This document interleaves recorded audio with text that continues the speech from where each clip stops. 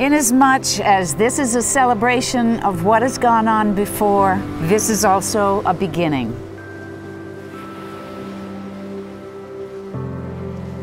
This is an affirmation of the love and the friendship and the trust that you already share.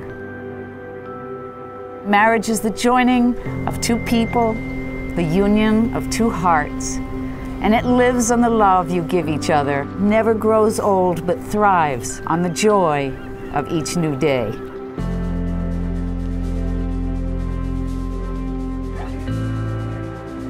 And so we're gathered here today to celebrate the marriage of Clark and Caitlin. No other human ties are more tender.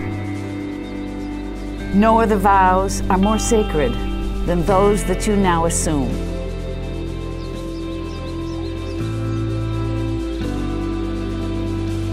And if these solemn vows are kept sacred, and if you steadfastly endeavor to live according to the best that is within you, your life together will be full of joy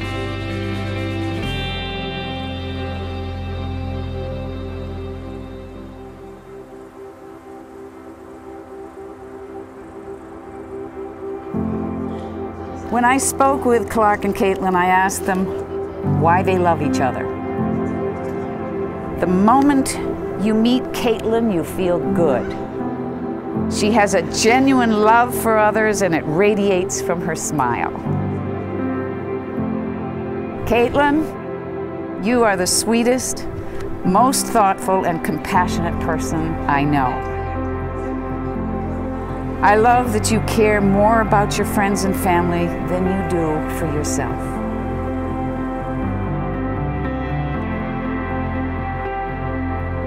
I love the cute smile on your face when you're happy. I love your spontaneity and your desire to see the world.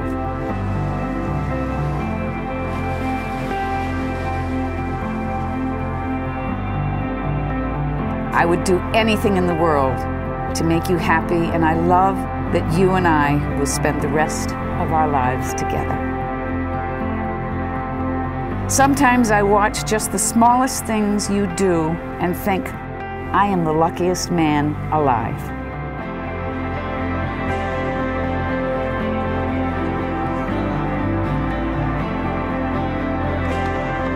Caitlin responded, Clark is one of the most thoughtful men I know. He's made me a centerpiece within his universe, which is one that I feel privileged to be a part of. Clark, I can't believe this day is finally here. I'm so grateful to be marrying you. I promise to give you every inch of my heart. I love you, Clark Raffel, and we'll see you down by the water soon. Love always, Caitlin.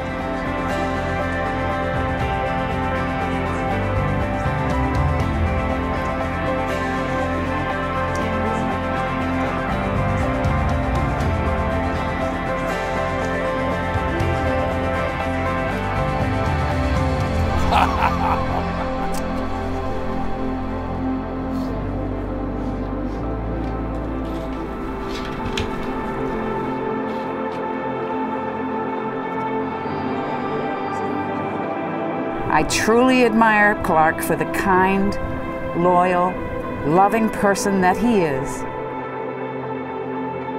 He makes every milestone a celebration and wants nothing more than to see me smile. Clark is not only a fantastic life partner, but my best friend, and has made every aspect of my life better than I could have ever imagined.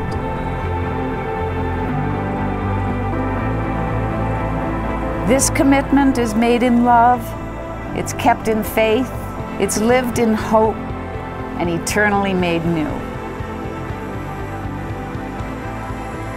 These rings are an outward and a visible sign signifying to all of us the uniting of Caitlin and Clark in matrimony. With this ring, I thee wed.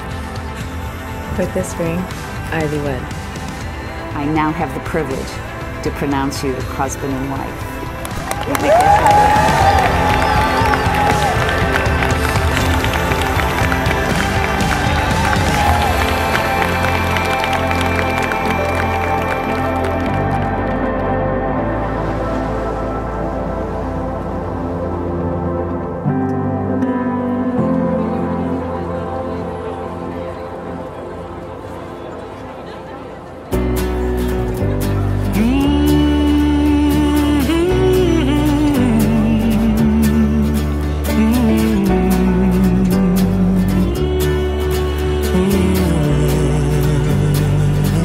I truly feel privileged to stand up here and tell you how proud and honored I am to be Caitlin Miskell's little sister.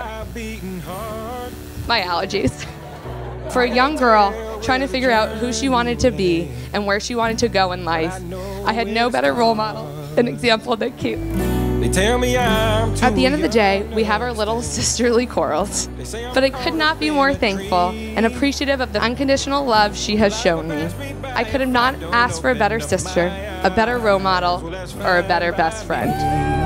So wake me up when it's all over. When I'm wiser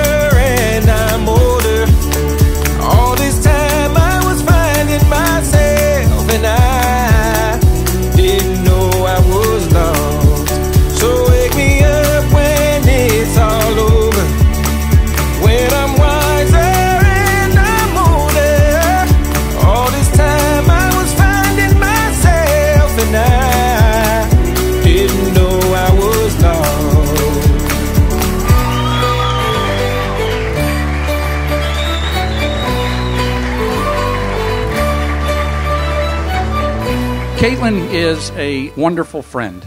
You know, one of the times Sister Ellen called the house and said, I'm calling all the parents. I want to talk to them about something that happened in school today.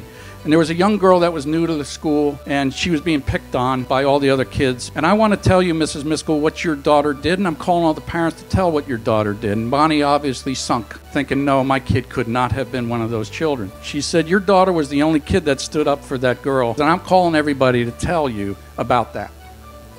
Now, I don't know about any other parent here, but that's a trophy on the wall for a parent. Nothing is better than that, right?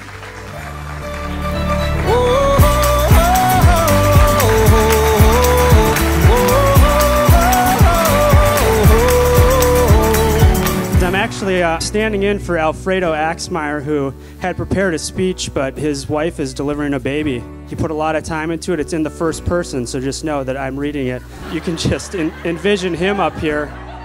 I'm sorry I'm not reading the speech myself. Jerry is far better looking than me anyway, so it's a win win for you. He actually wrote that, so can't say I disagree. Clark and I first met as high school freshmen. Sports always have a special way of starting friendships and building lifelong connections. We were no exception to the rule. High school ended, but our friendship endured through college and to our first jobs. I moved to New York, and Clark took me under his wing. He showed me the places to go and the foods to eat. But then something unexpected happened. I was diagnosed with cancer. One of the first people I called to tell was Clark. His immediate reaction was that of complete support. Some friends run when catastrophe strikes. Clark ran to my side to make sure he could help control catastrophe. So wake me up when it's all over.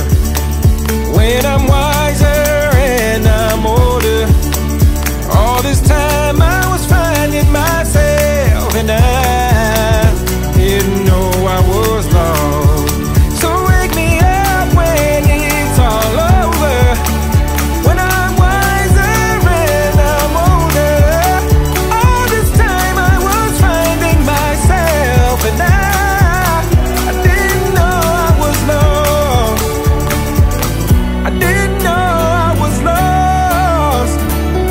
I have a little tradition that we started when I went to Ireland. To Clark and Caitlin. May God be with you and bless you. May you see your children's children. May you be poor in misfortunes and rich in blessings. May you know nothing but happiness from this day forward. And in the words of my great friend Brian McCarran, may you bring us wonderful grandchildren. Didn't know I was lost.